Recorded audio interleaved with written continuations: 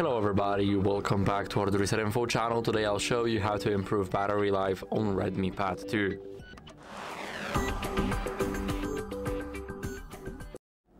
So first what we need to do is go over to the settings. So open the settings app. Now here we need to scroll down until we see display and brightness.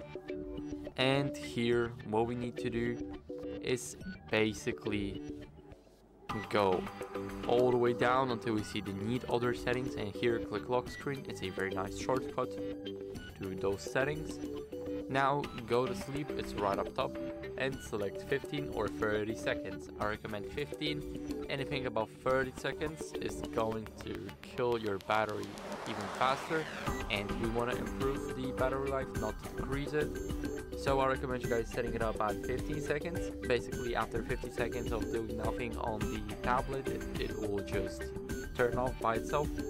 Not entirely, but the screen will just go black and it will save a lot of battery.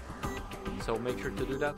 Now what we can also do to fix the battery life or to improve it, go to security, now click battery, and here what we can do is very simple basically we need to go to battery checkup.